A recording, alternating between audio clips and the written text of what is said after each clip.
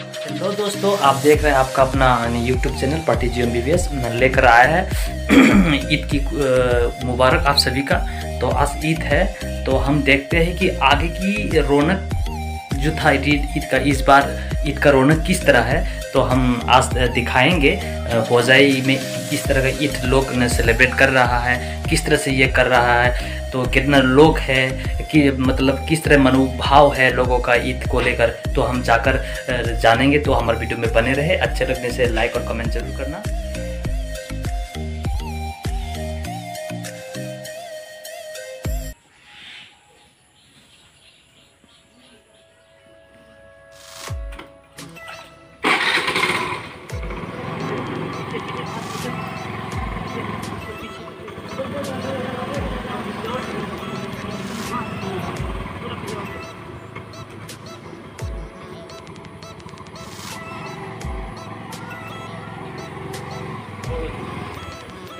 Valeu!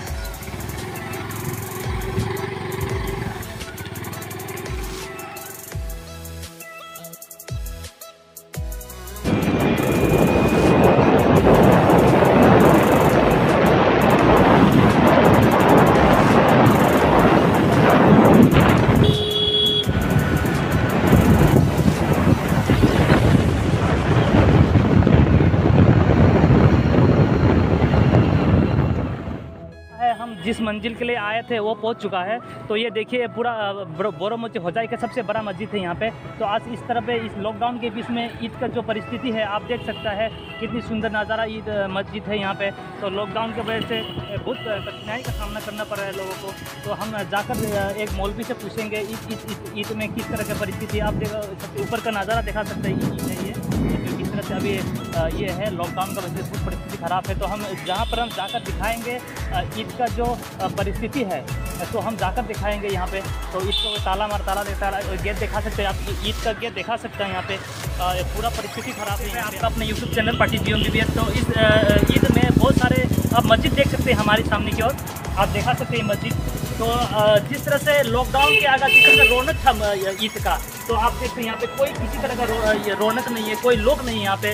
तो खामोशी है सब चारों तरफ़ दुकान बंद है। तो अब बच्चे से इस ईद में बच्चे से हम जानते हैं किस तरह से घूमने आया है और कितना इंजॉय किया इस लॉकडाउन के समय पे।